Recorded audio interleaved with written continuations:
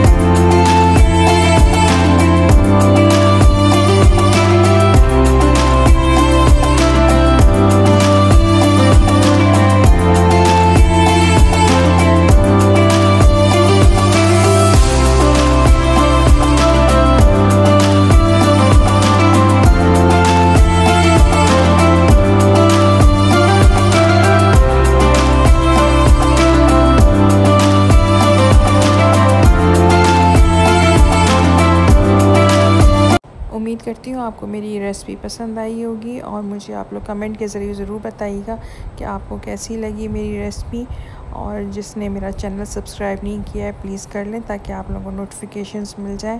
اللہ تعالیٰ آپ لوگوں کو خوش و آباد رکھے اور مجھے بھی دعاؤں میں یاد رکھیے گا۔ جزاک اللہ۔